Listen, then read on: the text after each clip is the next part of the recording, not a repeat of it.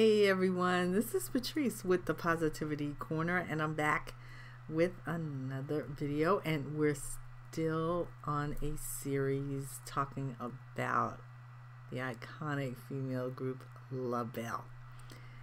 We're also still on the same album, the 1974 million selling album, Nightbirds.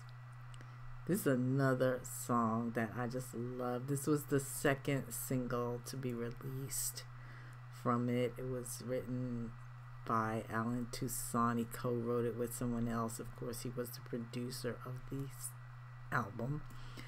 And I just love it. It was a big hit too. This went top 10 in on the R&B chart.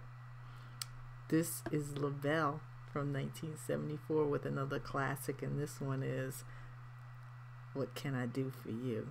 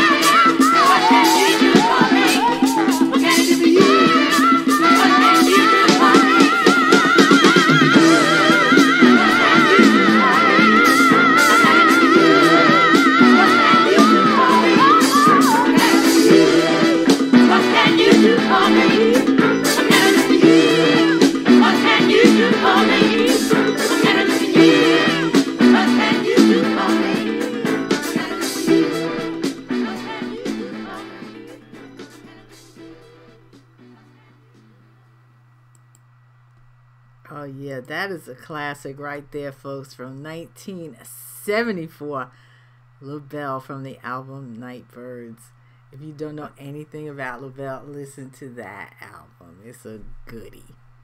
And that one is called What Can I Do For You? Um, there is a live performance of this song that LaBelle did with another icon who is also on this channel, and that is the one and only Cher.